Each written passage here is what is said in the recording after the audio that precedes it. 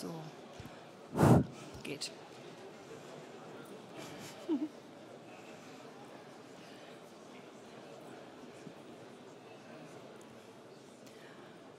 So, ich würde jetzt die Veranstaltung gerne eröffnen. Wenn sich jetzt vielleicht noch alle hinsetzen würden. Ich glaube, wir haben genügend Platz, auch hier noch auf den Treppen. Aber jetzt ist es ja schon so leise, dass man loslegen kann. Ja, sehr geehrte Frau Niemzowa, sehr geehrter Herr Dr. Gerhard, sehr geehrter Herr Graf Lambsdorff, meine sehr geehrten Damen und Herren. Als Vorstandsbevollmächtigte der Allianz Deutschland AG, in deren Haus Sie hier sind, darf ich Sie ganz herzlich hier im Allianzforum willkommen heißen. Viele von Ihnen kennen mich ja bereits aus meiner früheren Tätigkeit als Staatssekretärin des Bundesministeriums der Justiz.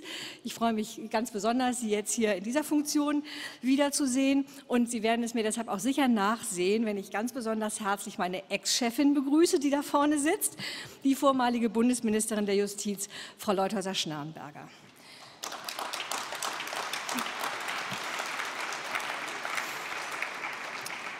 Es ist mir eine große Freude und Ehre, heute als Gastgeberin der Berliner Rede zur Freiheit eine lange Tradition fortsetzen zu können. Denn dieses von der Friedrich-Naumann-Stiftung ähm, entwickelte Format, 2007 entwickelte Format, fand von einer einzigen Ausnahme abgesehen traditionell immer hier in diesem Haus statt.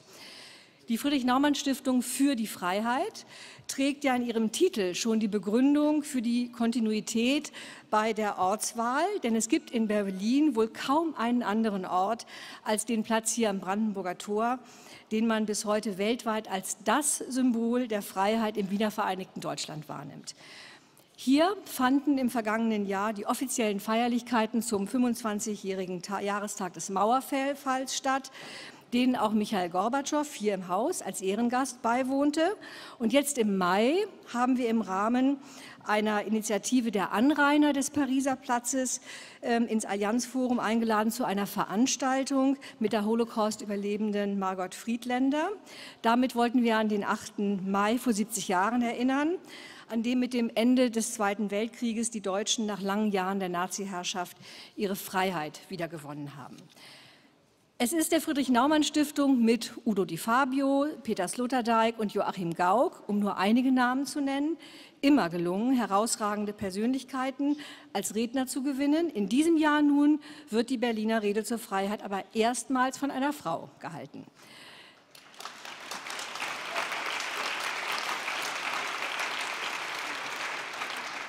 Es ist uns eine besondere Ehre, Jana Niemcowa als Rednerin hier im Allianzforum begrüßen zu dürfen. Nochmal ganz herzlich willkommen, verehrte liebe Frau Niemcowa.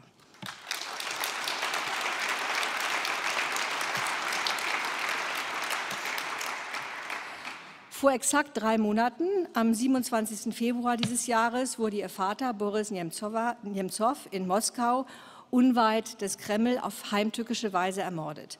Er war russischer Vizepremierminister, später Oppositionsführer und Co-Vorsitzender der liberalen Republikanischen Partei, der Partei der bürgerlichen Freiheiten. Es starb nicht nur ein freiheitsliebender Mensch und mutiger Politiker, der sich immer für die Freiheit der Gedanken und des politischen Handelns in seinem Land eingesetzt hat, mit ihm starb auch ein Stück Hoffnung dass die Opposition in Deutschland dank seiner starken Stimme Gehör im In- und Ausland findet, um auf politische Missstände aufmerksam zu machen und notwendige Reformen anzustoßen. Allzu leicht vergessen wir oft, dass das hohe Gut der Freiheit, die wir in unserem Land in einer gesicherten Demokratie genießen dürfen, in vielen Ländern dieser Erde keineswegs eine Selbstverständlichkeit ist. Als die Freiheiten, die mit der Glasnost-Bewegung und der Perestroika in der ehemaligen Sowjetunion unter ihrem damaligen Präsidenten Gorbatschow Einzug hielten und das Land öffneten und veränderten, hielten wir dies im Westen lange Zeit für einen unumkehrbaren Prozess. Nicht erst seit den kriegerischen Auseinandersetzungen in der Ukraine müssen wir uns eines Besseren belehren lassen. Wir verdanken es Menschen wie Boris Nemtsov, dass nicht nur die Menschen in Russland, das von den Prinzipien der Meinungs- und Pressefreiheit wieder Lichtjahre entfernt ist, sondern auch wir hier Kenntnis erhalten von den Repressalien, denen man in Russland ausgesetzt ist, wenn man seine Bürgerrechte in Anspruch nimmt. Auch wenn der Feigemord nicht aufgeklärt ist und möglicherweise nie aufgeklärt werden wird. muss man doch davon ausgehen, dass Boris Nemtsov genau diesen Mut mit dem höchsten Preis bezahlen musste, seinem Leben. Umso bewundernswerter ist es, dass seine Tochter Jana Nemtsova, eine anerkannte Wirtschaftsjournalistin, nun anstelle ihres Vaters mit demselben Mut ihre Stimme erhebt, um auf die zunehmende Einschränkung der Bürgerrechte und die Gefahren staatlicher Propaganda aufmerksam zu machen. Sie selbst haben die Frage, ob Sie eine mutige Frau sind, so beantwortet. Es ist mir egal, wie man es nennt. Ich mache nur, was auch mein Vater gemacht hat. Ich spreche aus, was ich denke. Dem ist nichts hinzuzufügen. Gemeinsam mit Ihnen erwarte ich jetzt mit Spannung die Rede von Frau Nemtsova und das anschließende Gespräch, das sie mit Graf Lambsdorff führen wird.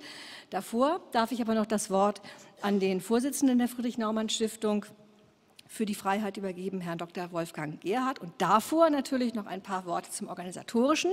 Denn im Anschluss an die Veranstaltung laden wir Sie wieder ganz herzlich ein zu einem kleinen Empfang in unser Staffelgeschoss, dort ganz oben. Dort haben Sie einen wunderbaren Blick, bei hoffentlich immer noch wunderbarem Wetter, auf das Brandenburger Tor. Und dann können wir uns dort wieder treffen zu einem persönlichen Gespräch bei einem kleinen Getränk, worauf ich mich sehr freue. Jetzt übergebe ich aber gerne erstmal an Herrn Gerhardt. Vielen Dank für Ihre Aufmerksamkeit.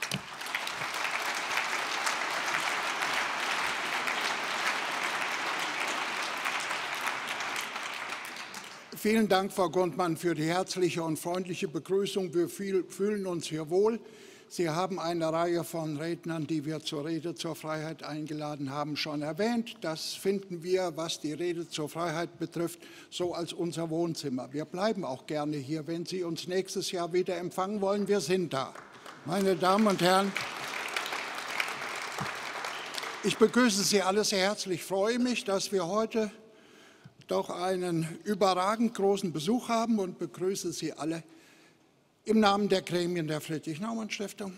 Und ich freue mich auch, dass die mit uns partnerschaftlich befreundete Partei durch die stellvertretende Bundesvorsitzende Frau Strack-Zimmermann vertreten ist. Ebenfalls herzlich willkommen. Meine Damen und Herren, die Friedrich-Naumann-Stiftung arbeitet seit Jahren in Russland. Wir haben den ganzen Weg nach dem Zusammenbruch der alten bipolaren Welt und der Öffnung der Mauer beobachten können.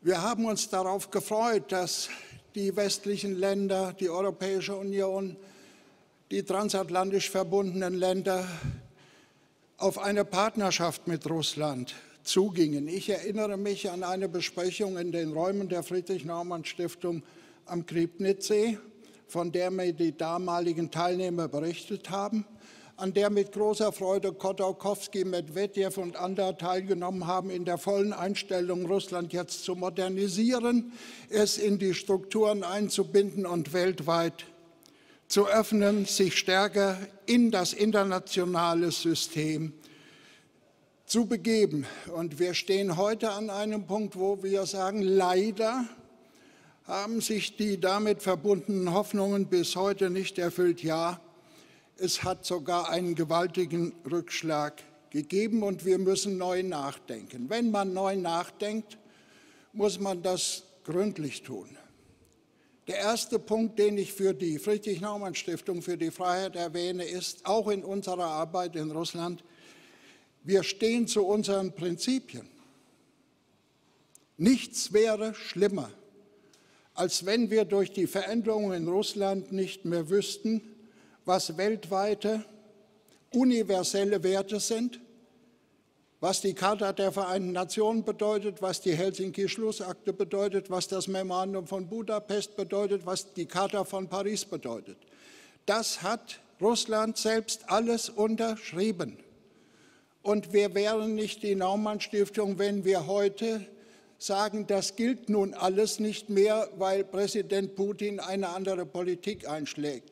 Es gibt in Russland sehr viele Menschen, die von uns erwarten, dass wir zu unseren Prinzipien stehen, weil sie Russland in die gleiche Richtung entwickeln wollen. Und das gilt.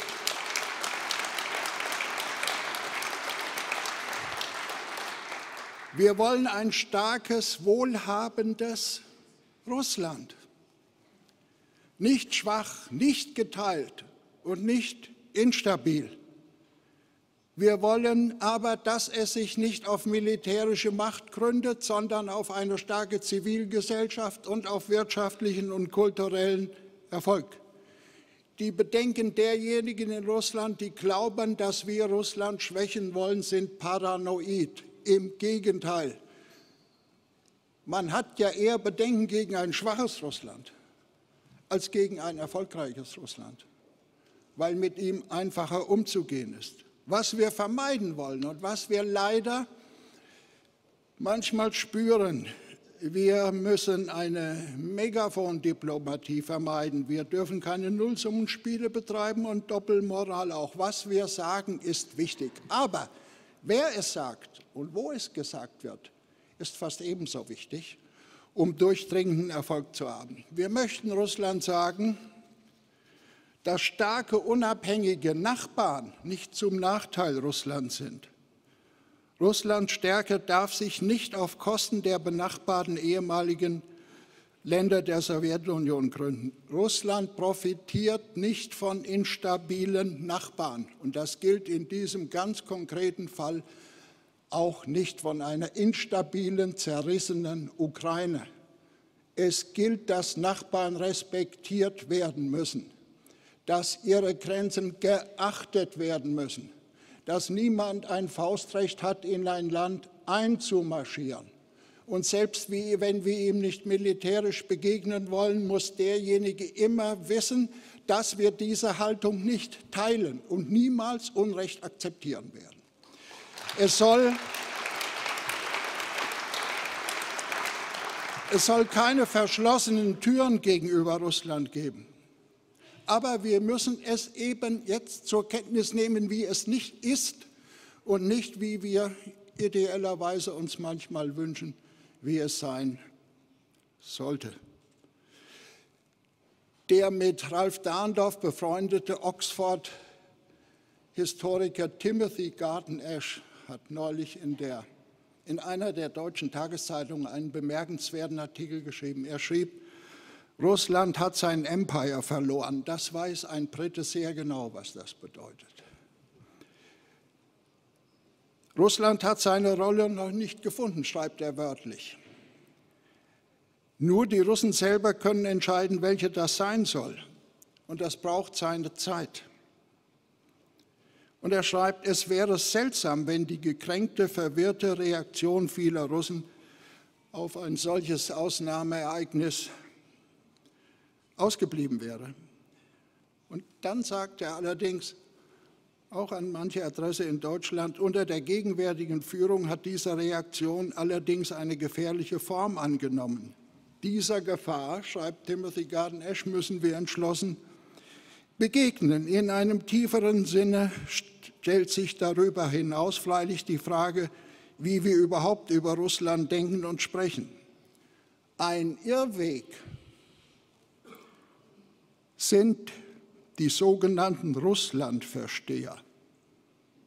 Sie verwechseln, er schreibt das auch, sie verwechseln Putin mit Russland und kommen zu der klassisch falschen Position, alles verstehen heißt alles verzeihen. Deutsche Geschäftsleute scheinen dafür besonders anfällig zu sein, sagt Timothy Garden-Esch. Eine Erfahrung, die ich auch aus der Arbeit der Friedrich-Naumann-Stiftung gemacht habe. Und er schreibt dann, aber wir sollten die Hoffnung nicht aufgeben auf das andere Russland. Wir müssen uns unser Vertrauen in diejenigen Russen bewahren, die an seinem Erscheinen arbeiten. Und die gibt es. Und eine von ihnen haben wir heute eingeladen. Eine junge, engagierte Frau, die Tochter des ermordeten Boris Nemtsov, die ich in ihrer aller Namen mit ihrer Mutter Raisa heute, Raisa heute Abend hier herzlich begrüße in der Allianz Arena. Welcome, Shana Nemtsova.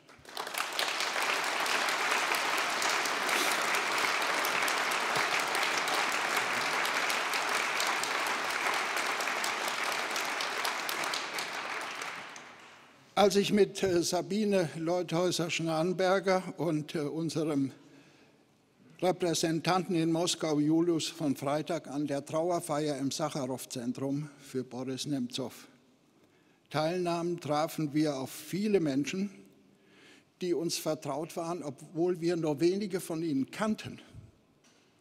Wir hatten das Gefühl, wir stehen unter 300 bis 400 Menschen, die ein Stück Zivilgesellschaft in Russland ausbilden. Was ist das für ein Regime, so haben wir bei uns gedacht, das sich vor diesen Menschen fürchtet, sie drangsaliert, sie zu Hass, sie für Hass und Aggressivität freigibt, anstatt ihnen, die ihr Land genauso lieben, eine lebendige Zivilgesellschaft möglich zu machen, mit ihnen aufzubauen. Was ist das für ein Land, das vor wenigen Tagen nochmals ein verschärftes Gesetz, das die politischen Stiftungen betrifft, die in Russland arbeiten und zu keinen anderen Prinzipien als die, die Russland selbst unterschrieben hat, als Agenten bezeichnet? Es ist gut, dass die Europäische Union, manche sagen bis jetzt, ich will hoffen auch weiterhin, ein festes Standing hat. Das erwarten die, die wir dort getroffen haben.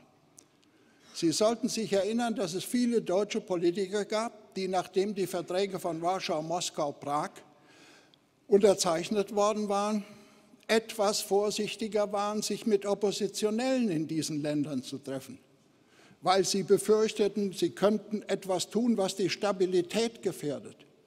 Im Nachhinein betrachtet haben sogar manche Leute umgangen, Václav Havel zu treffen, ein Geschenk für die freie Welt, dass er dann schließlich Präsident der Tschechoslowakei und dann von Tschechien war. Es gibt keine Stabilität ohne Zivilgesellschaften, meine Damen und Herren. Und deshalb arbeitet die Friedrich-Naumann-Stiftung in jedem Land genau so, und hält nicht wie Helmut Schmidt manche Gesellschaften nicht so geeignet für Demokratie. Demokratie, Menschenwürde sind universelle Werte, auf die nicht verzichtet werden kann, meine Damen und Herren.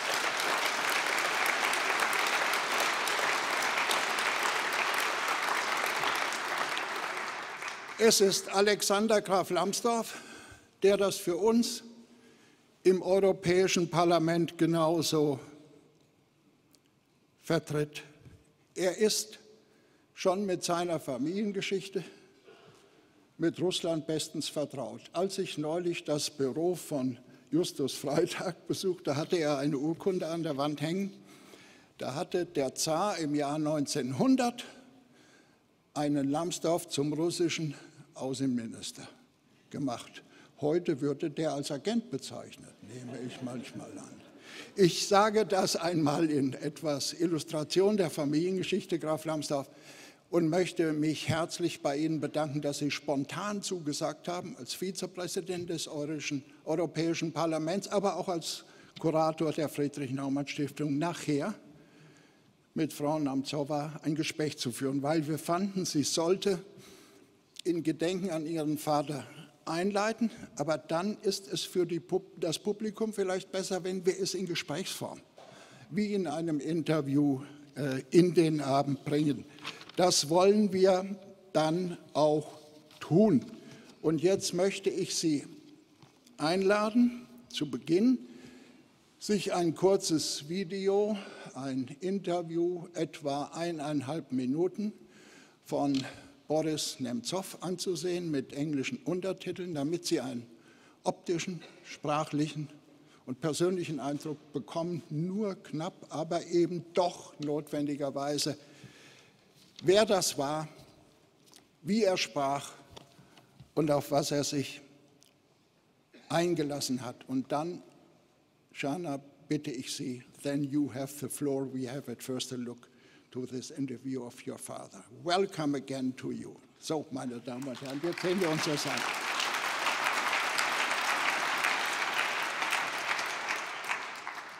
Начинал свою политическую деятельность с оппозиции. Я возглавлял первое антикоммунистическое движение, будучи молодым человеком и там, занимаясь науками, старшим научным сотрудником в Нижнем Новгороде. А, организовал первую антикоммунистическую демонстрацию в Нижнем Новгороде после 1917 года. Я никогда не был коммунистом. А вот. Я всегда считал, что вот надо страну от этого кошмара освобождать. Да? Я сознательно проводил политику невмешательства в дела прессы. Вот полного невмешательства. У меня не было ни одной телекомпании, ноль, ни одной. Второе, у меня не было ни одной газеты, вообще ни одной. Не было ни одной радиостанции. Изменились ли ваши политические взгляды, если э, от начала карьеры, и как они изменились? Да не, мало изменились. То есть вы... Я сторонник народовластия, свободы, частной собственности. Не, мало изменились. Я такой в этом смысле упертый очень. Пока свободою горим, пока сердца для чести живы, мой друг России посвятим души прекрасные порывы, Товарищ верь, взойдет она, звезда пленительного счастья. Россия вспрянет от сна, несмотря на то, что думаешь иначе. И на обломках самовластия напишут наши имена.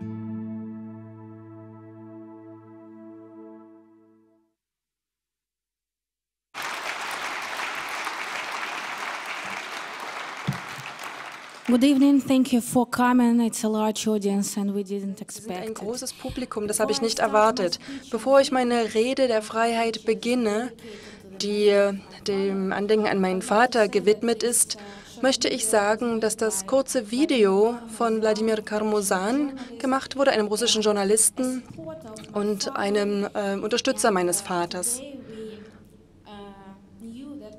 Heute wissen wir, dass er im äh, Krankenhaus ist. Er wurde vergiftet. Wir wissen nicht, ob er wirklich vergiftet wurde oder nicht, wer das getan hat. Vielleicht war es auch ein Unfall. Aber ich glaube das nicht, dass das ein Zufall war und mein Herz ist heute bei seiner Familie und bei ihm. Ich hoffe, dass er sich so bald wie möglich erholen wird.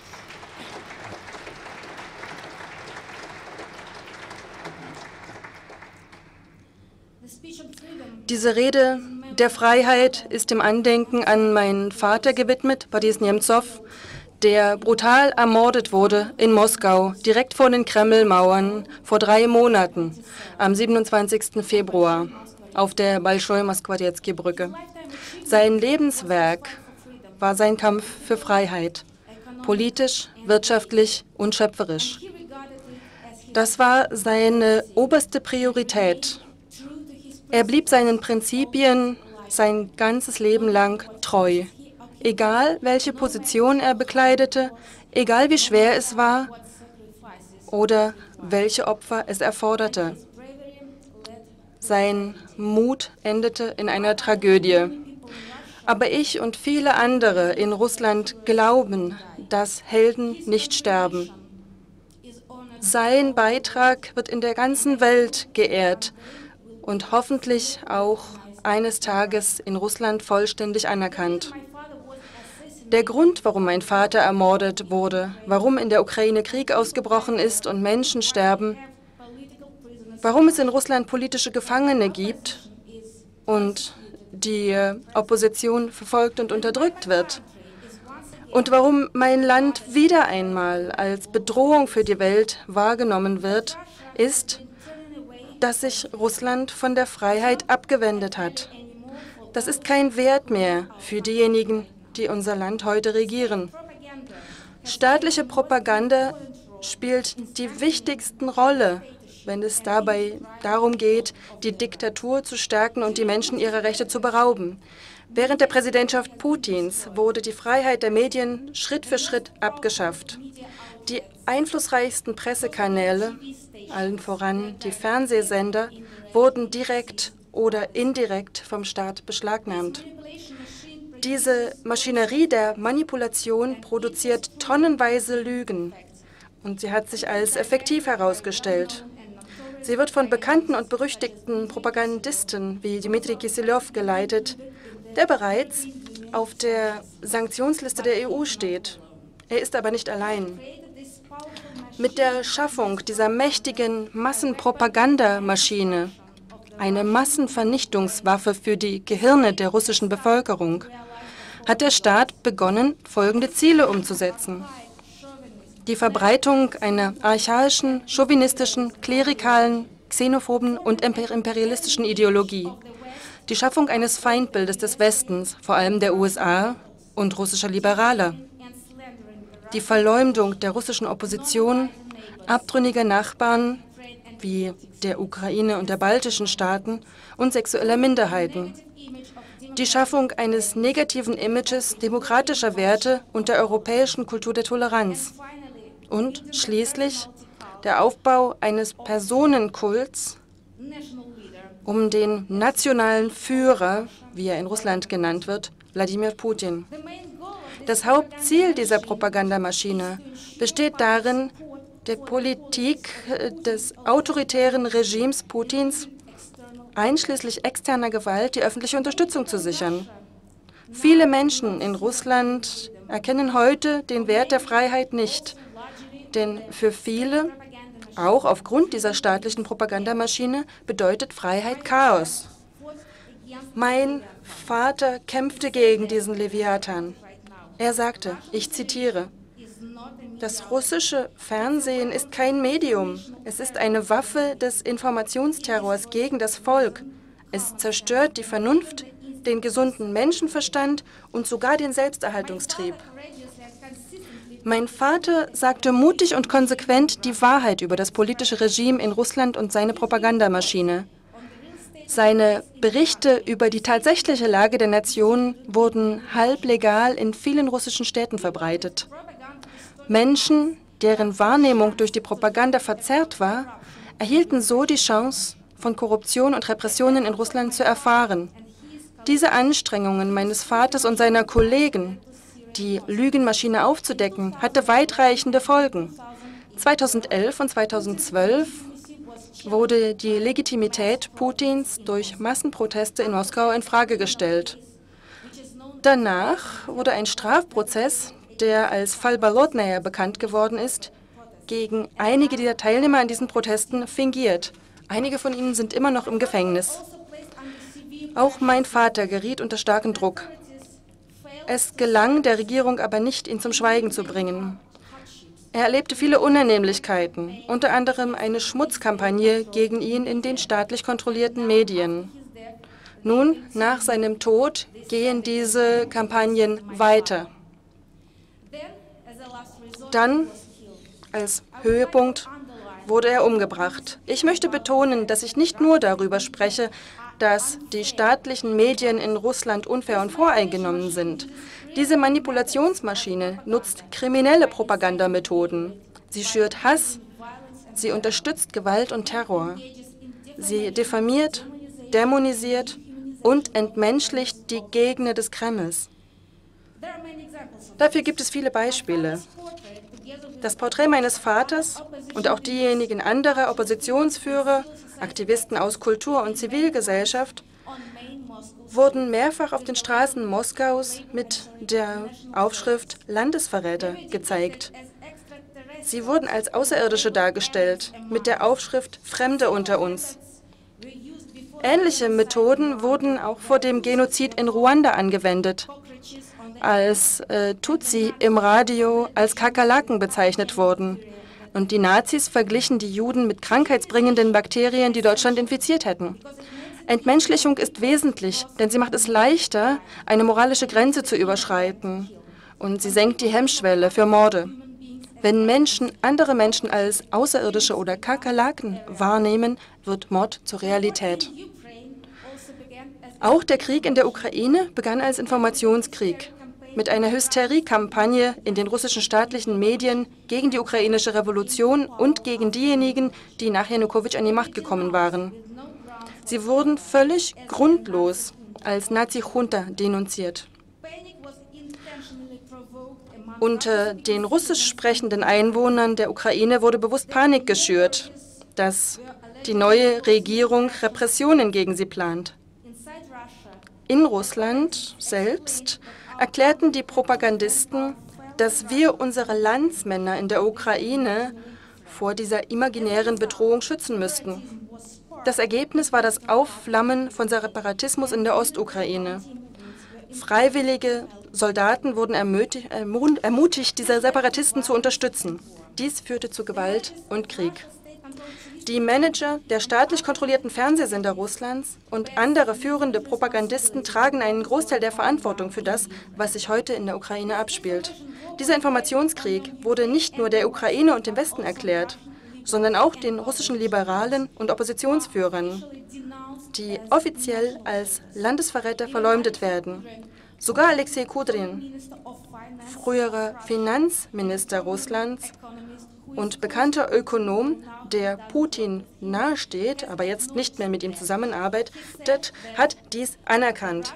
Er sagte, dass die staatlichen Medien den Krieg ihren Bürgern gegenüber erklärt haben.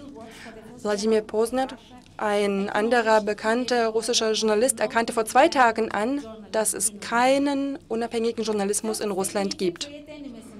Zuerst schaffen die staatlichen Medien Feindbilder und dann beginnen hasserfüllte Menschen, diese zu misshandeln und umzubringen. Auch mein Vater wurde von solchen Menschen angegriffen. Er ist ein Opfer des Informationskriegs des Kremls gegen russische Oppositionsführer.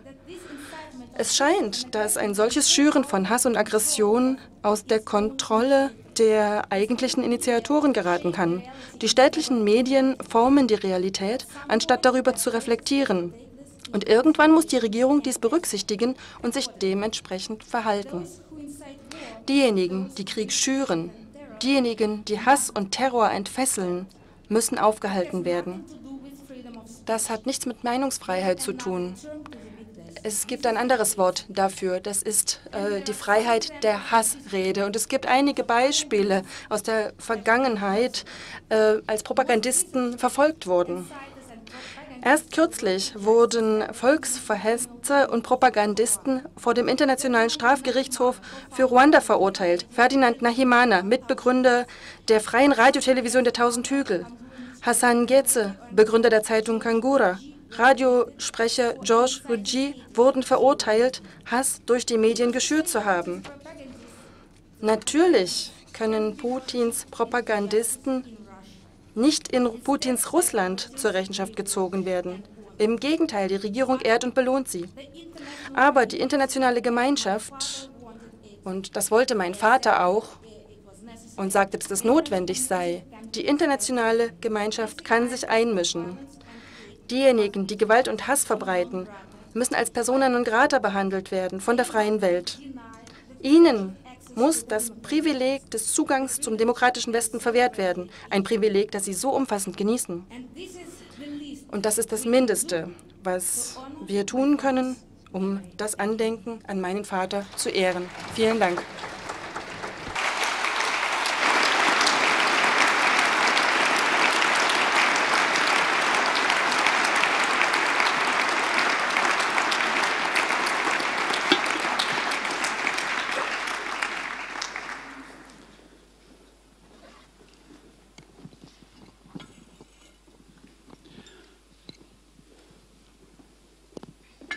Jana Borisnovna, thank you very much. Jana Borisnova, vielen Dank für Ihre Rede.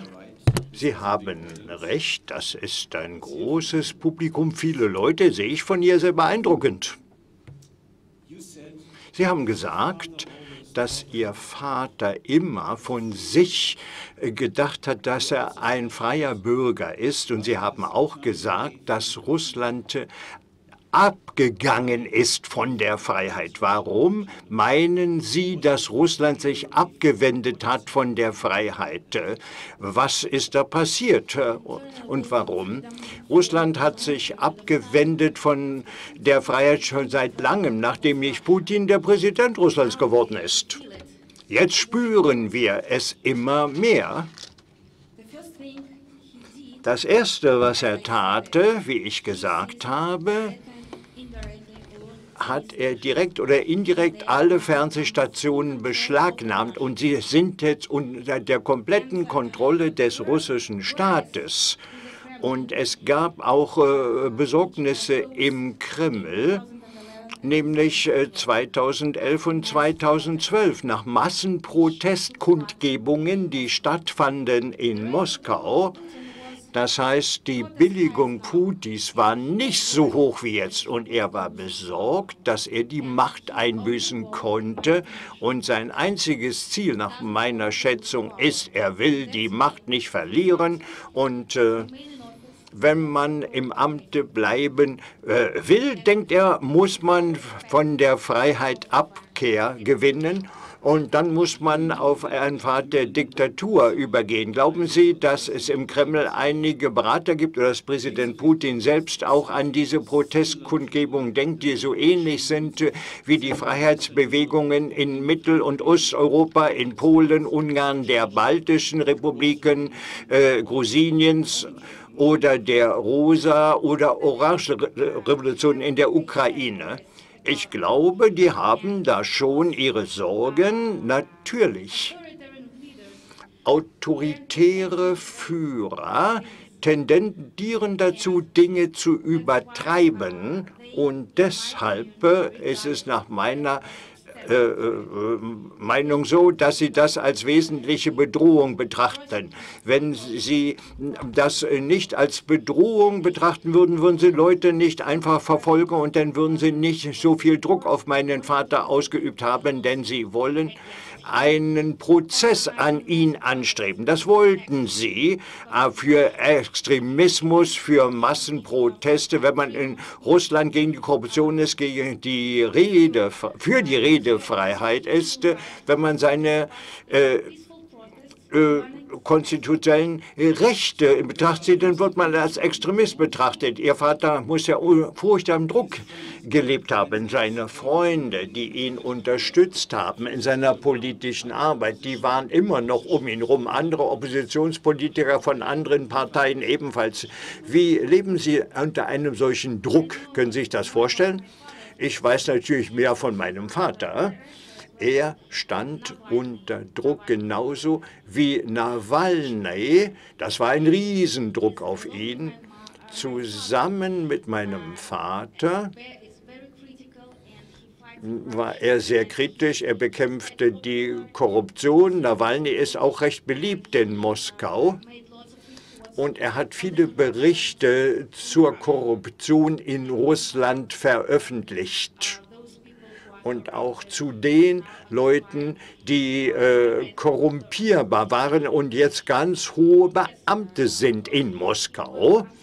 Natürlich stand er unter Druck, aber hätte sich nie vorstellen können, dass er äh, ermordet werden könnte. Er hat mir gesagt, nun gut, man könne ihn ins Gefängnis werfen und das hat er schon als ernstes Risiko angesehen. Aber er hatte das Risiko äh, äh, eines Mordes nicht gesehen. Und er hat mir gesagt, wenn ich ihn verteidigen würde, hätte ich Probleme. Wenn ich ihn nicht verteidigen würde, hätte ich eben keine Probleme. So ist nun mal Russland.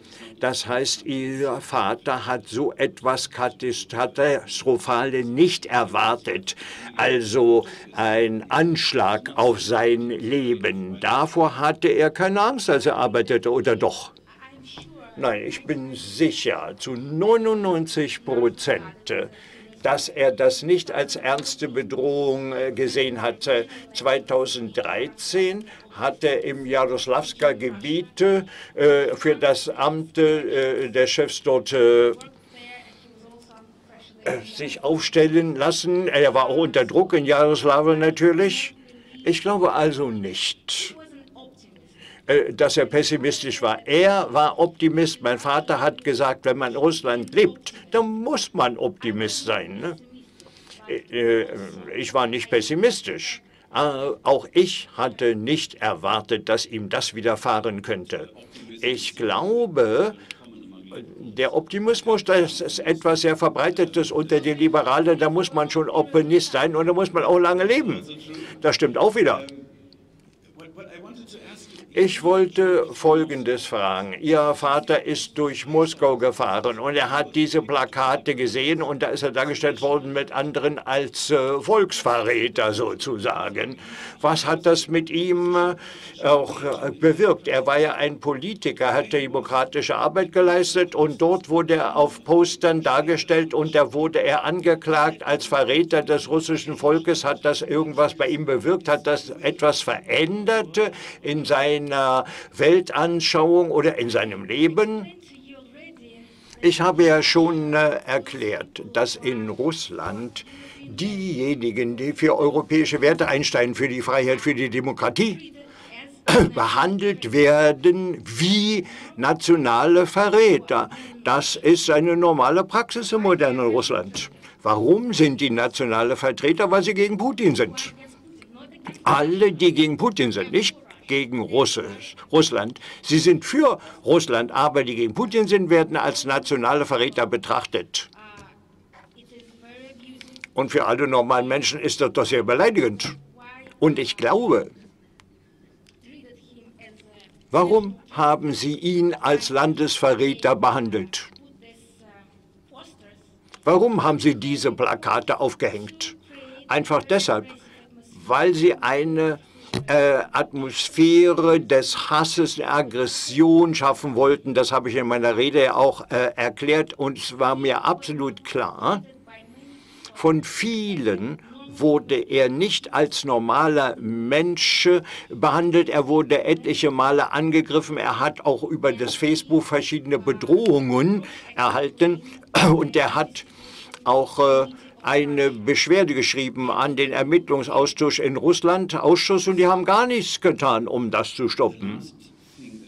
Das Letzte, woran Ihr Vater sehr intensiv mit anderen gearbeitet hat, war ein Buch oder ich sollte sagen ein Bericht dazu, was in der Ukraine vor sich geht. Die russisch, das russische Verhältnis zur Ukraine und Russlands Handlungen in der Ukraine. Was war der Hauptpunkt in diesem Bericht? Er hat an dem Bericht gearbeitet. Der Name des Berichts hieß der Putin-Krieg zu dem äh, Konflikt in der Ukraine. Er hat damit begonnen, aber er konnte das Buch nicht beenden, weil er getötet wurde und seine Unterstützer haben dann diesen Bericht weitergearbeitet. Er wurde in Moskau vor einigen äh, Wochen veröffentlicht. Es war sehr schwer, das äh, zu veröffentlichen und viele Verlage haben sich geweigert, diesen Bericht zu veröffentlichen. Es ist der umfassendste Bericht dazu, was in Russland vor sich geht, seit der Annexion der Krim. Als er begonnen hat, an diesem Bericht zu arbeiten, da gab es einen Film etwas später äh, zu unseren äh, staatlichen Fernsehstationen und da hat Putin bekannt eingestanden, dass er diese Krim-Operation geleitet hat, dass er verantwortlich dafür war und dass er auch russische Soldaten hinzugezogen hatte. Wenn man ihn gehört hat vor einem Jahr, daher hat er ganz was anderes gesagt und der Sinn dieses Berichts besteht darin, den Menschen äh, etwas zu erläutern. Mein Vater glaubte an die Macht der Worte. Keiner weiß, was in der Ukraine vor sich gegangen ist. 86 Prozent der Menschen unterstützen Putin. Sie sehen das russische Staatsfernsehen. Russland ist ein Fernsehland und die, die die Medien kontrollieren, die kontrollieren die gesamte Bevölkerung Russlands. Und das berührt noch viele andere Dinge, nicht nur die Krim, sondern auch die Einbindung der, Sozial der russischen Soldaten in diesen Konflikte und die äh, äh, Verwandten von 17 Fallschirmspringern von Ivanov haben ihn kontaktiert. Diese Fallschirmspringer wurden getötet und die Verwandten haben gar keine Kompensation dafür bekommen, denn offiziell äh, haben sie nicht in der Armee gedient. Wie ich das verstehe, wurden sie gezwungen,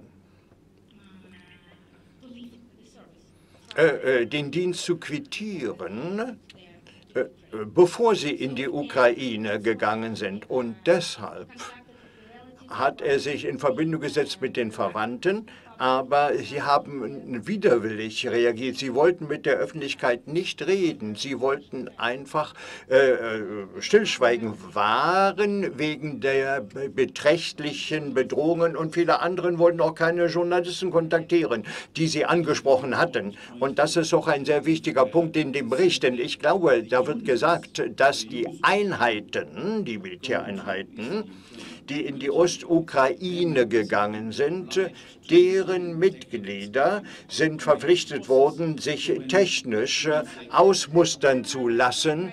Na, wir haben noch etwas jetzt.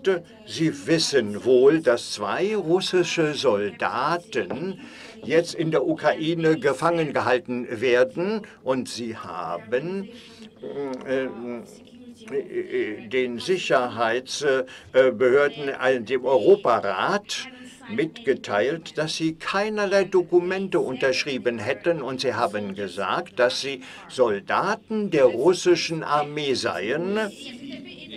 Das ist die OSCE und diese Information erschien vor einer Woche. Und die Organisation, gut, da waren die beiden Soldaten das ist ungesetzlich, dass die russischen Soldaten in der Ukraine sind. Putin hat keinerlei Erlaubnis, russische Truppen dafür in anderen Ländern zu nutzen.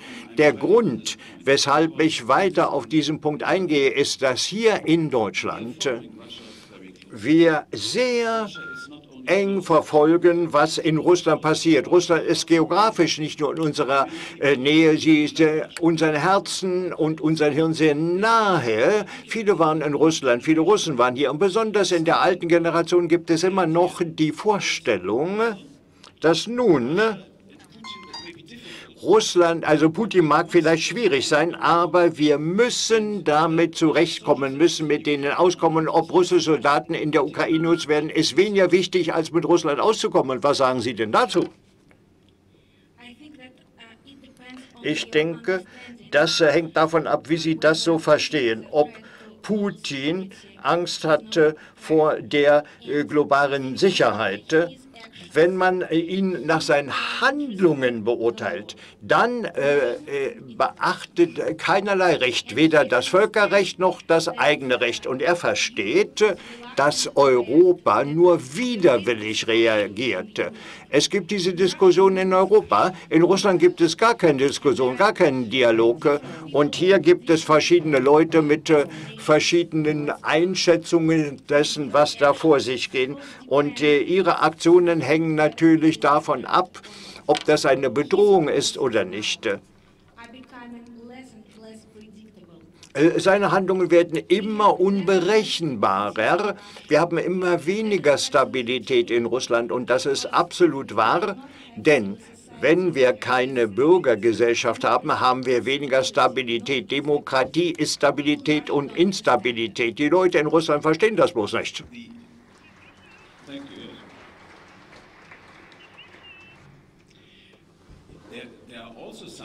Es gibt auch einige hier, die sagen, und Wolfgang Gerhard hat äh, einen prominenten Menschen genannt, der gesagt hat, dass die Demokratie in Russland irgendwie, äh, äh, äh, das ist, Russland und Demokratie sind nicht vereinbar und Russland könnte nie eine Demokratie werden wegen der, der Tradition. Und was sagt denn dazu? Ich würde gern sagen, dass wir auf dem richtigen Weg schon waren. Ein Übergang, das war natürlich für uns nicht leicht. Die Leute hatten aber genug von der Sowjetunion. Wir waren auf dem richtigen Weg. Und was Putin jetzt tut, ist, dass er zurückgeht in die Vergangenheit. Und das ist der falsche Pfad, denn wir möchten nicht ein entwickeltes Land sein. Wir wollen nicht in der entwickelten Welt drin sein.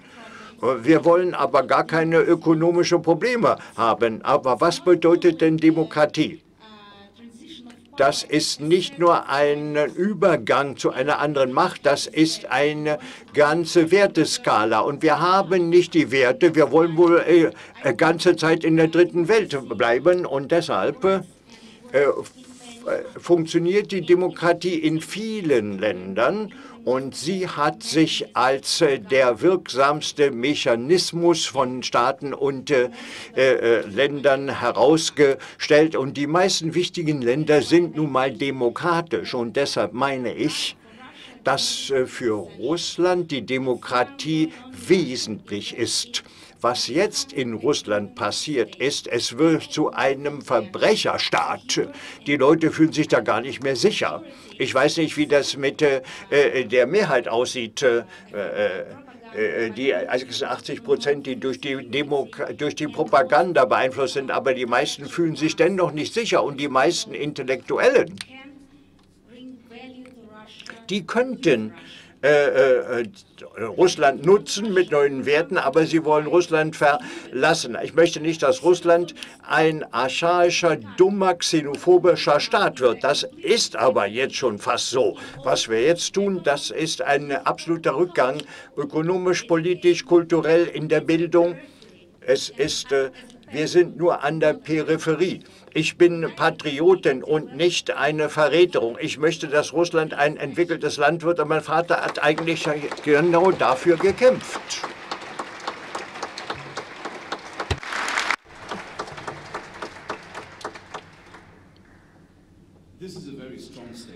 Das war eine sehr, äh, eine sehr starke Bemerkung und jeder in diesem Raum ist sicherlich auf ihrer Seite. Das zeigt auch der Applaus.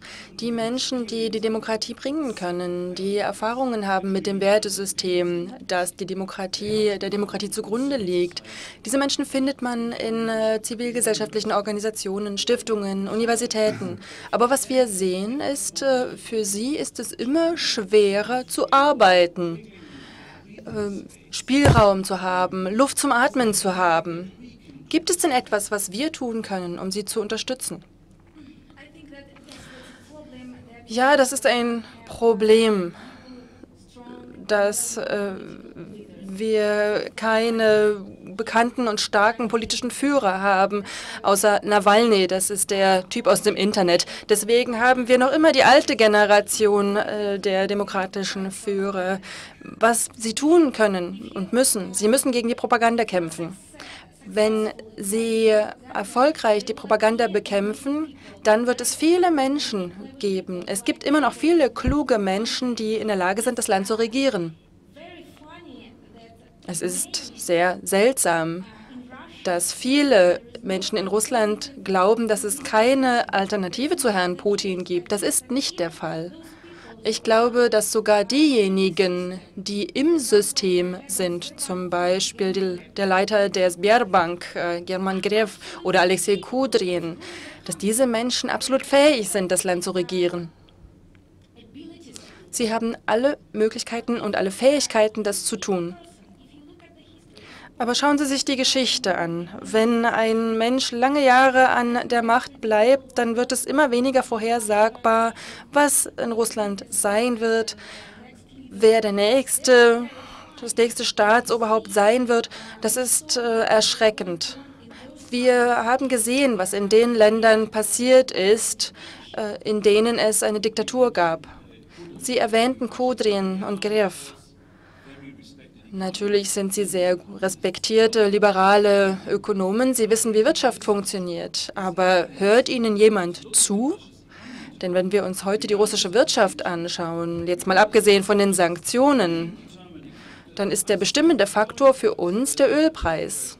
Wenn der Ölpreis hoch oder runter geht, dann beeinflusst das die russische Wirtschaft, das russische nationale Budget, den Haushalt und so weiter. Das ist aber keine moderne, innovative Wirtschaft. Hört denn jemand auf die liberalen Ökonomen, die äh, sagen, wir könnten eine bessere wirtschaftliche Zukunft haben? Hermann Greff ist der Leiter einer staatlichen Bank, Sberbank, das ist die größte Bank in Russland. Und sie dürfen ja immer noch sprechen öffentlich. Das ist ermutigend, ja. Natürlich sprechen Sie über die Sanktionen. Sie sprechen die ganze Zeit äh, darüber, dass, die, dass das Verhältnis mit dem Westen verbessert werden muss. Aber nach meiner Einschätzung äh, sehen Sie oder haben Sie keinen Einfluss, keinen bedeutenden Einfluss. Das ist eine sehr seltsame Situation. Erst einmal haben die Sanktionen ja eine starke, eine starke Auswirkung auf unsere Wirtschaft und äh, den Rubel. Und diese Auswirkungen werden in der Zukunft noch stärker werden. Aber sie haben das Verhalten von Putin noch nicht geändert aufgrund der Propaganda. Er kontrolliert äh, die Medienressourcen und die Medienressourcen sagen weiterhin, ja, es geht uns schwer wirtschaftlich, aber das liegt nicht an der Regierung, das liegt am Westen. Es liegt daran, äh, dass Sie sagen, dass wir ein Imperium aufbauen wollen, dass Sie unseren Staat schwächen wollen und so weiter. Und aufgrund der hohen Zustimmungsraten für Putin hat sich nichts geändert.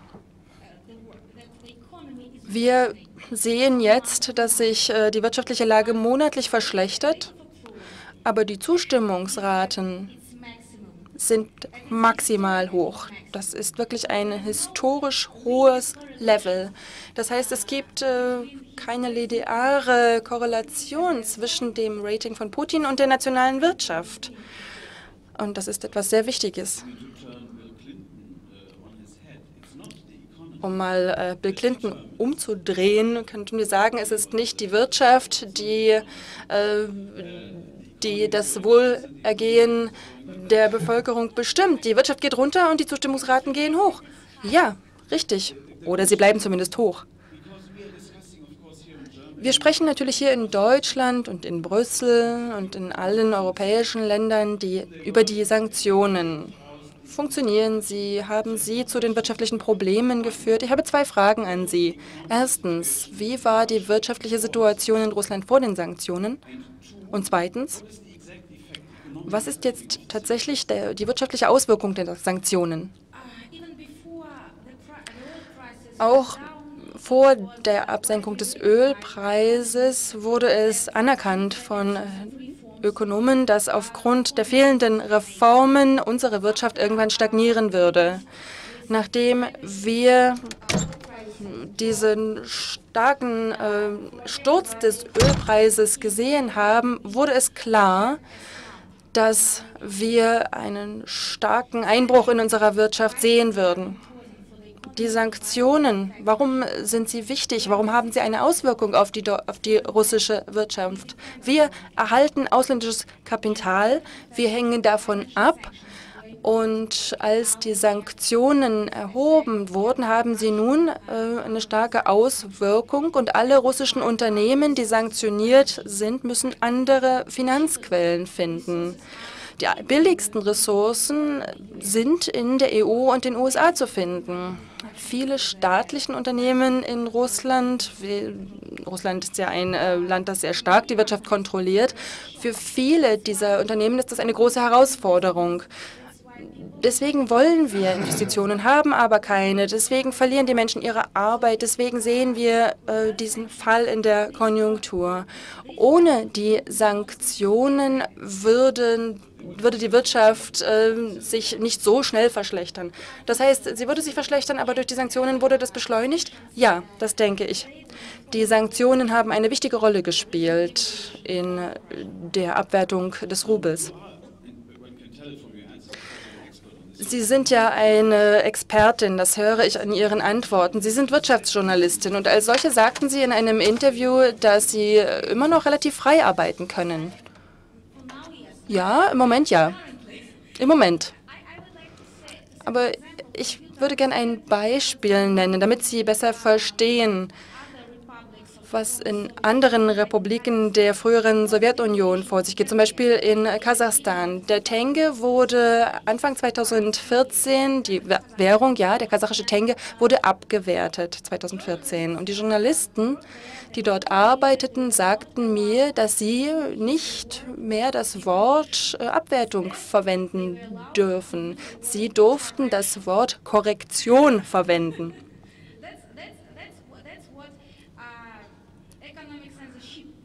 Das bedeutet also wirtschaftliche Zensur in Kasachstan. In Russland haben wir tatsächlich eine etwas freiere Situation. aber wir entwickeln uns, ich weiß nicht, vielleicht in Richtung von äh, Nordkorea. Ja, die Freunde in Nordkorea. Wenn Sie sagen, dass Sie als Wirtschaftsjournalistin, wissen Sie, das ist auch meine Erfahrung, die äh, Naumann äh, Stiftung führt ja jedes Jahr äh, eine Wirtschaftskonferenz in Sibir Sibirien ähm, durch. Einige nicken hier, das heißt, Sie kennen diese Konferenz. Und man sieht, dass die Ökonomen, brillante Ökonomen und einige Oppositionspolitiker dort die Wirtschaft sehr frei besprechen können und auch darüber schreiben dürfen. Ich habe daraus den Eindruck, dass es immer noch Spielraum gibt für freie Diskussionen.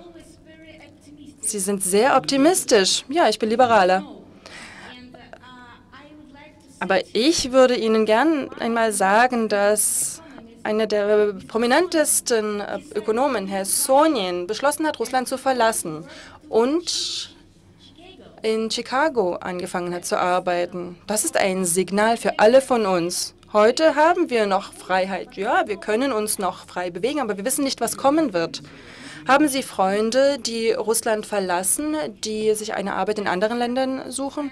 Ja, ich habe viele Freunde, die Russland verlassen wollen, auch Freunde, die Russland bereits verlassen haben und Freunde, die eine Erlaubnis bekommen wollen, außerhalb von Russland zu leben. Ja, viele. Aber nicht viele von ihnen haben die finanziellen Möglichkeiten, außerhalb von Russland zu leben. Wenn ich mit Ihnen spreche, und die Entwicklung in Russland mit ihnen diskutiere, dann sehe ich also Menschen wie Sie, jung, eloquent, gut gebildet, in interessanten Jobs, aber auch politisch bewusst und sehr, sehr unglücklich über die politische Situation in Ihrem Land. Was ist denn dann Ihre persönliche Perspektive? Da muss ich präzise drauf antworten. Ich weiß es nicht. Das ist also die falsche Frage an mich. Okay, aber was erwarten Sie?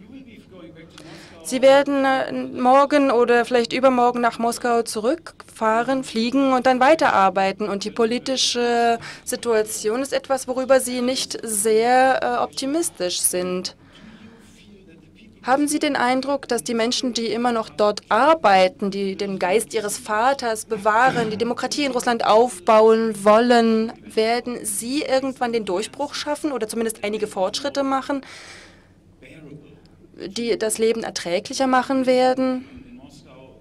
In Moskau zu leben, in Jekaterinburg, in Warnow, wo auch immer.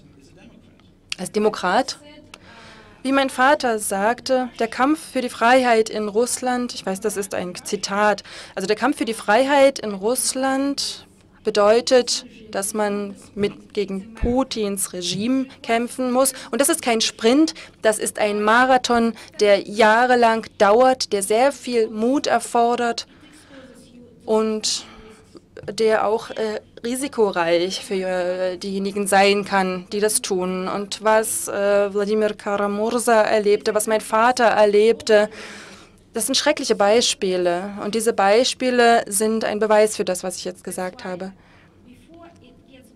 Das heißt, bevor es besser wird, wird es erst einmal schlechter, glaube ich zumindest. Und zwar sehr schnell.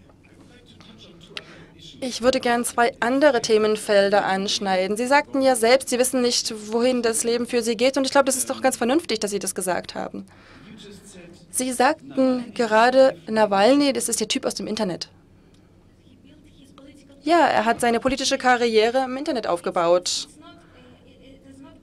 Denn es ist nicht möglich, eine politische Karriere in Russland aufzubauen mit anderen Medien, nur das Internet. Ja. Mit zehn oder elf Zeitzonen ist es natürlich etwas schwer, äh, Zeitungen im ganzen Land zu verteilen. Deswegen sagten sie, Russland ist ein Fernsehland. Ja, und äh, Nawalny ist aber das einzige wirkliche Beispiel für den Typen aus dem Internet. Er ist nur in Moskau populär oder hauptsächlich in Moskau. Er ist nicht gut bekannt außerhalb von Moskau. Mein Vater war besser bekannt, äh, auch in den Regionen, denn er hatte die Möglichkeit, Anfang der 90er, in den späteren 90ern. Aber es gibt wirklich nur diesen einen Typen aus dem Internet und der ist nur in Moskau populär. Glauben Sie, das kann sich ändern, wenn wir uns zum Beispiel den arabischen Frühling anschauen? Dort hat das Internet eine zentrale Rolle gespielt für die Kommunikation von jungen Menschen, die früher nicht die Möglichkeit hatten, miteinander zu kommunizieren. Ich möchte das natürlich nicht überbewerten. Das Internet wird nicht die politische Situation oder eine politische Situation allein ändern können, aber kann es ein äh, nützliches Instrument sein, damit sich Demokraten aus dem ganzen Land vereinen können. Russland ist ein Fernsehland, das Internet ist fragmentiert, aber trotzdem ist das möglich. Aber Sie müssen verstehen, dass das Internet auch vom Staat angegriffen wird. Wir haben einige Ressourcen, die indirekt oder direkt vom Staat kontrolliert werden. Wir haben viele Facebook-Seiten, die äh, blockiert wurden äh, in der letzten Zeit. Es gibt viele Beispiele dafür. Und jetzt wird also sogar Facebook als ein mögliches Risiko, eine Bedrohung angesehen. Das heißt, Sie sollten nicht zu sehr auf das Internet zählen. Es kann auch hier zu Veränderungen kommen und es ist nicht leicht, äh, dort Ideen auszudrücken, denn auch das kann als Extremismus angesehen werden. Dort können sie vor ein russisches Gericht gebracht werden dafür. Das ist tatsächlich der Fall. Sie in Deutschland, Sie sind so optimistisch in Bezug auf Russland. Ich bin wirklich beeindruckt. Okay, also wenn Sie, meine Fragen Ihnen den, Eindruck geben, dass, ich, dass wir optimistisch sind. Die zweite Frage jedenfalls. Wir äh, suchen nach Möglichkeiten, eine bessere Zukunft für Russland zu sehen. So wie Wolfgang Gerhard schon sagte, wir wollen ja, dass Russland erfolgreich und stark ist. Wir wollen, dass es demokratisch ist. Denn wie Sie bereits sagten, wir glauben, dass ein demokratisches Russland stark ist und ein besserer Partner. Denn wir wollen ja, dass Russland unser Partner ist. Das ist schwer, wenn nicht gar unmöglich im Moment. Meine zweite Frage, ich wollte Sie ja zwei Fragen äh, fragen. Die erste war die Frage zum Internet und die zweite Frage ist, äh, Russland ist mehr als nur Russland äh, Moskau. Es gibt Städte ähm, außerhalb von Moskau, wo sie auf einmal demokratischen Aktivismus sehen. Natürlich, St. Petersburg ist das berühmteste Beispiel, aber jüngst haben wir das auch in Novosibirsk gesehen. Glauben Sie, dass das etwas ist für die Zukunft? Könnte sich Demokratie in den Regionen entwickeln oder muss das wie Nawalny aus Moskau kommen, weil Moskau so zentral für die russische Politik ist? Ich glaube, in Bezug auf politischen Wandel muss man schon sagen, dass die meisten Veränderungen aus den großen Städten wie Moskau und St. Petersburg kommen, nicht aus den Regionen. Und Ihre Beispiele sind zwar richtig, aber in den Regionen ist die Situation schlechter als äh, in Moskau und St. Petersburg. Es gibt viele Beispiele für Unterdrückung, für Druck von Seiten Putins. Politische Aktivisten erleben diesen Druck in den Regionen. Und ich glaube nicht, dass die Regionen äh, die Triebkraft für einen Wandel in Russland sein können. Die Triebkraft für Wandel ist die Gesellschaft selbst. Wenn die Gesellschaft ähm, wenn etwas genug hat, dann kann sie sich ändern. Im Moment sehen wir nicht, dass die Gesellschaft einen Wandel möchte. Sie ist glücklich. 86 Prozent sind glücklich mit dem, was sie haben. Sie glauben ganz stark äh, daran, dass das Imperium wieder aufgebaut werden kann, dass Russland groß und wunderbar ist und so weiter. Es gibt eine, einen enormen Anstieg von Patriotismus in Russland. Und deswegen haben wir 86 Prozent glücklicher Menschen. Darum ist, warum das so ist, habe ich Ihnen bereits ähm, erklärt. Ähm, und ich glaube, ich habe die wichtigsten Gründe genannt. Und ohne die Unterstützung der Gesellschaft. Ich weiß, dass viele Menschen in Russland eine andere Meinung haben. Sie glauben, dass alle Revolutionen in der gesamten Welt nur von den USA organisiert worden sind. Aber ich glaube, das ist nicht ganz so einfach.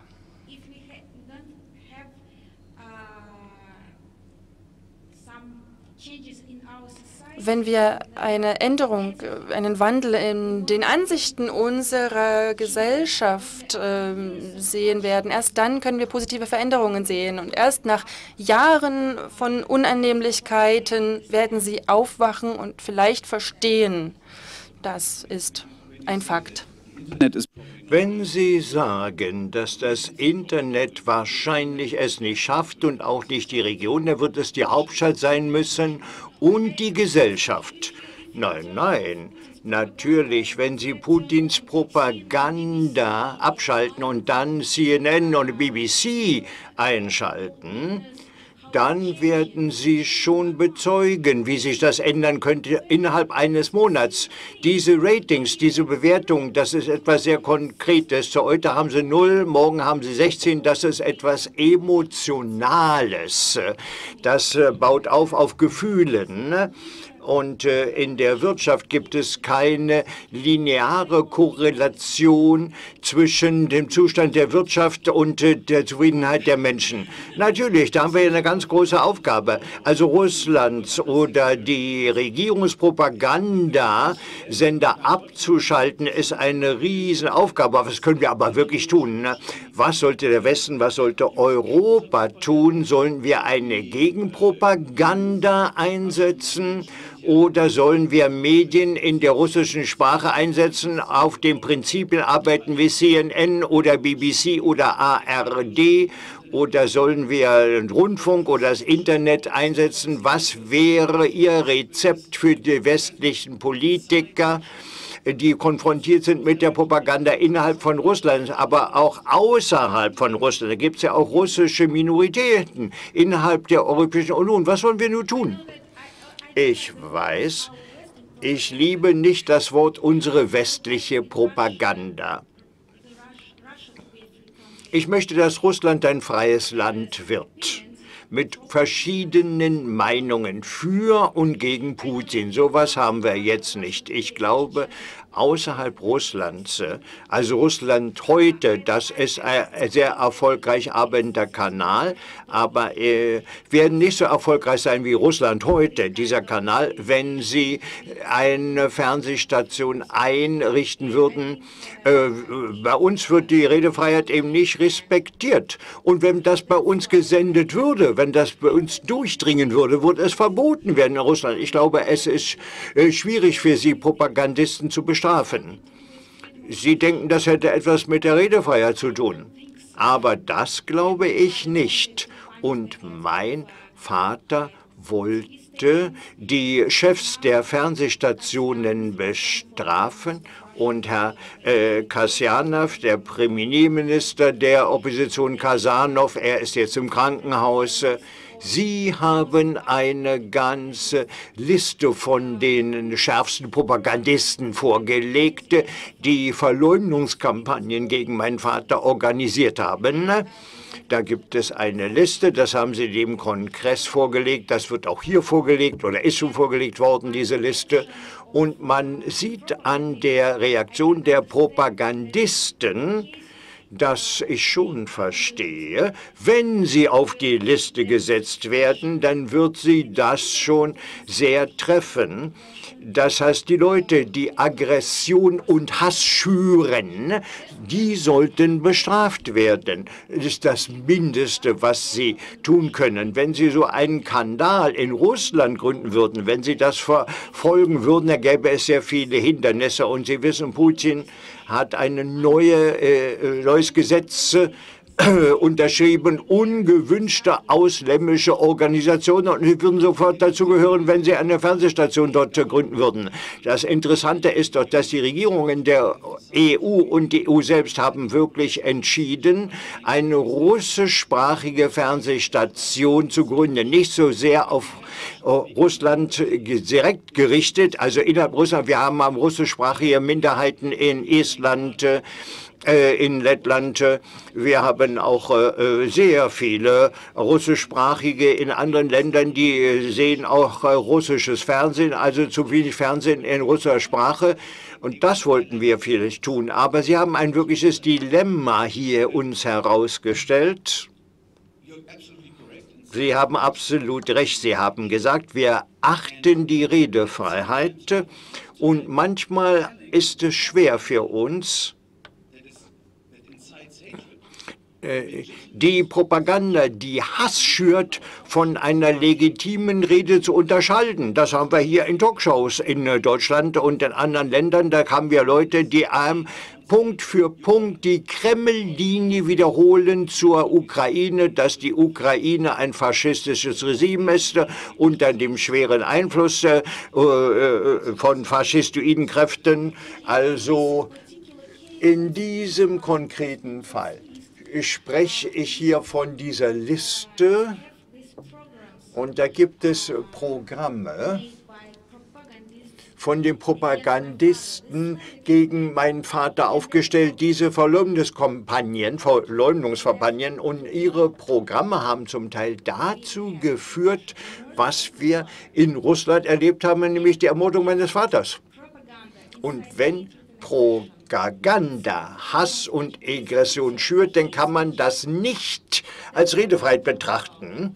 Äh, davon spreche ich, äh, die Ukraine. Da verstehe ich den Punkt, den Sie gemacht haben, aber was diese konkrete Liste anlangt, das würde wohl nicht funktionieren. Es gibt äh, viele Beispiele in der Geschichte, als Propagandisten bestraft wurden. Das war schon der Fall. Wenn man beweisen konnte, dass ihre Programme Hass geschürt haben, Folgen gehabt haben. Und hier haben wir ja diese Folge, diese Strategie. Und ich glaube, Weitere Tragödien werden sich in Russland schon zutragen äh, mit den Gegnern des Regimes. Also vielen Dank. Sie haben die ganz große Aufgabe, gegen die Propaganda vorzugehen. Da gibt es eine große äh, äh, Aufgabe, Nemzows Liste, äh, Liste derjenigen, die also Hass gepredigt haben, also die auch äh, zur Gewalt aufgerufen haben gegen die Oppositionellen in Russland, einschließlich Herr Vater. Und da muss man sich die Liste ansehen und dann müssen Sie sagen, ob man diese äh, Leute vielleicht auf eine Sanktionsliste äh, setzen müsste. Das ist eine Aufgabe, die lösbar ist und das müssen wir uns gesichts ansehen. Ich möchte auch noch sagen, natürlich ist eine Frage der Diskussion, also mit diesem Gesetz Magnitsky. Das ist ein Gesetz. Mein Vater hat zwei Jahre daran gearbeitet und ich verstehe natürlich das sehr Gute. Es ist nicht wie Putins Russland. Das wäre ein demokratischer Staat. Da muss man seine Argumente auch beweisen. Aber äh, um eine Fernsehstation zu gründen, braucht man Geld. Und Putins Propagandisten, die ja Gewalt äh, schüren, das erfordert keine Finanzen. Also dieser Magnitsky-Fall, das kennen vielleicht einige nicht, da müssen Sie noch was zu sagen. Magnitsky war ein Anwalt, äh, der hat einen Fonds gegründet, er wurde ins Gefängnis geworfen, er wurde dort getötet und alle, die etwas damit zu tun hatten, wurden auch auf diese Magnitsky-Liste gesetzt und mein Vater hat fleißig an dieser Frage gearbeitet. Er ist äh, mehrfach in die Vereinigten Staaten gereist, um seine Argumente zu beweisen. Und Sie haben es geschafft, dieses Gesetz zu verabschieden. Das ist jetzt Gesetz, also Magnitsky-Gesetz. Und die Leute, die direkt oder indirekt sich daran beteiligt haben oder beteiligt waren an dieser Tragödie, dürfen nicht mehr einreisen in die USA. Und wir bitten um das Gleiche. Wir haben eine sehr intensive Kampagne, wo wir äh, diesen europäischen Magnitsky-Gesetzesakt äh, einbeziehen und diejenigen, die äh, involviert waren in den Mord dieses Rechtsanwaltes, sollten auf die Liste gesetzt werden. Die können nicht mehr einreisen und der Rechtsanwalt hat sein Leben eingebüßt und das äh, diskutieren wir jetzt auch. Also nochmals vielen Dank. Sie haben gesagt,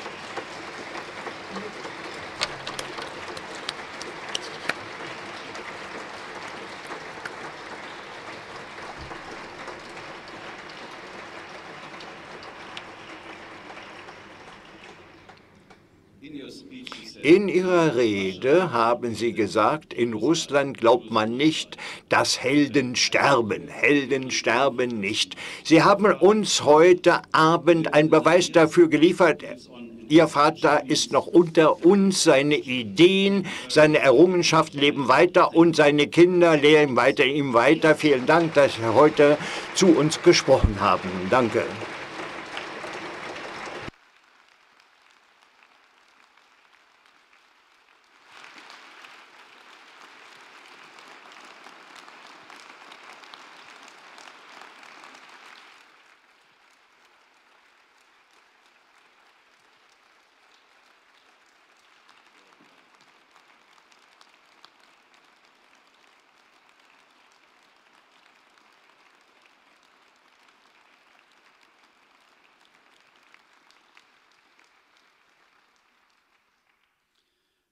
Meine Damen und Herren, ich danke Ihnen allen sehr, dass Sie gekommen sind und ich äh, wiederhole jetzt noch einmal die Einladung.